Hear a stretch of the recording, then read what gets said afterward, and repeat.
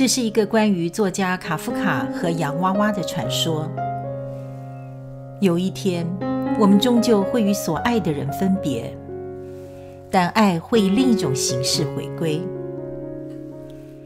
一九二三年秋天，卡夫卡与女友朵拉午后出门散步，阳光和煦，空气清新，一切如此美好，仿佛上天恩赐的礼物。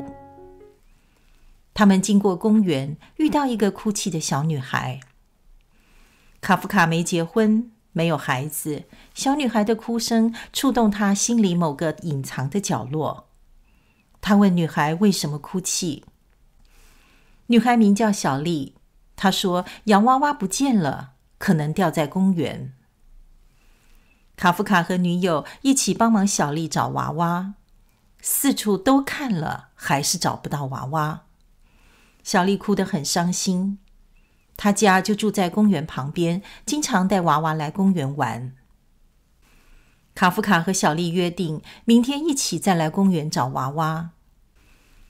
这时，卡夫卡闪过一个朦胧的想法。他是写小说的，有丰富的想象力。如果明天还是找不到娃娃，他决定用小说家的方式来安慰小丽。隔天，三人又一起在公园找娃娃，还是没有找到。卡夫卡安慰小丽：“也许娃娃没有丢，他只是去旅行了。”小丽问：“娃娃去了哪里？”他为什么要去旅行？卡夫卡说：“娃娃长大了，想去看看外面的世界，就像每个人长大了，都有一天会离开家，到外面去看看。”他又说自己是个邮差，可以帮忙到邮局查一查，也许娃娃会写信给小丽。他们三人约好下周在公园见面。卡夫卡回家开始动笔写信，他感觉双手有微微的灼热感。他写过许多小说，但从来没有写过这种题材。他脑中充满了娃娃旅行的情景。见面那一天，卡夫卡交给小丽一封娃娃写来的信。小丽还不识字，卡夫卡读信给她听：“亲爱的小丽，对不起，我没有告诉你一声就走了。”希望你不要生气。我一直想去旅行，不能再等了。我现在正搭乘火车要去一个美丽的地方，空气中飘来花香，不知道是哪一种花。你一定也会喜欢这种气味。请不要担心，我会想念你，会继续写信给你哦。每隔几天，卡夫卡都会带给小丽一封娃娃的来信。亲爱的小丽，我爬到山的最高处，看到太阳升起，天空是淡淡的紫色。紫色不是我最爱的颜色，你喜欢紫色吗？常常想到你，我会继续给你写信。亲爱的小丽，我现在巴黎，三餐都可以吃到可颂面包，法国甜点也很好吃。我每天都吃得很开心，一点也不怀念从前吃的红萝卜和豌豆。我好想你。娃娃很规律的来信，小丽非常期待听他的旅行新鲜事。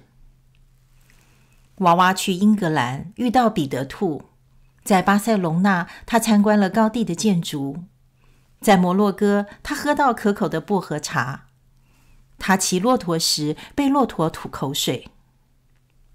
他又去埃及看金字塔，踩在柔软的沙土上。他搭船游尼罗河，认识了几个新朋友，他们教他阿拉伯语。娃娃特别提到，他感觉自己正在长大成熟。后来接连有几天，小丽都没有看到卡夫卡，只有他的女朋友朵拉来。朵拉说，卡夫卡头痛，无法出门。又过了几天。卡夫卡来了，脸色苍白。小丽问他怎么了，卡夫卡说感到有点疲累，但他没有忘记带来娃娃的信。亲爱的小丽，我参加一个北极探险队，这趟旅程会很久。路上冰雪覆盖，充满挑战，但我并不害怕。我可能很久都没有办法写信给你。我很高兴曾经陪伴过你，和你一起度过快乐的时光。卡夫卡告诉小丽，这可能是娃娃最后一封信，因为他忙着游历世界。小丽说，有一天他也会去看看世界，他会小心骑骆驼时不要被骆驼吐口水。卡夫卡也提醒小丽，记得要带纸和笔，记下看到的新鲜事和感想。公园的树叶子快落光，树枝光秃，指向灰色的天空。一阵风吹，卡夫卡不停的咳嗽，只好和女孩道别。小丽不再因为娃娃离去而难过，她满心期待长大之后也要去游历世界。隔年春天，卡夫卡永久安睡了，去另一个世界旅行。这个故事还有另一个版本。卡夫卡和小丽最后一次见面，交给小丽一个洋娃娃。小丽很惊讶，她一眼认出这不是原来的娃娃。卡夫卡解释，娃娃旅行世界各地，长大成熟。这些经历改变了他的心灵和外貌。卡夫卡是写小说的，他知道小说必须有完整的结尾。他在娃娃的衣服里藏了一张给小丽的纸条，上面写着：“有一天，我们终究会与所爱的人分别，但爱会以另一种形式回归。”细草微风讨论分享。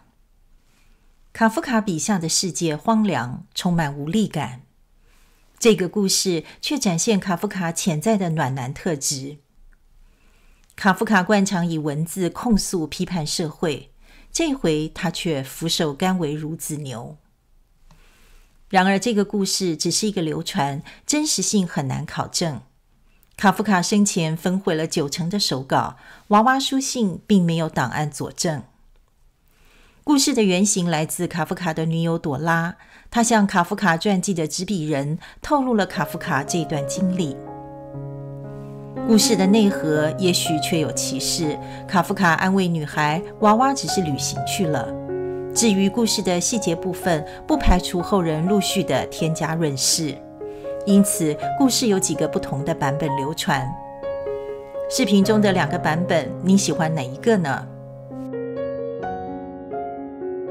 我是细草微风，欢迎点赞、订阅与留言，谢谢收看，再会。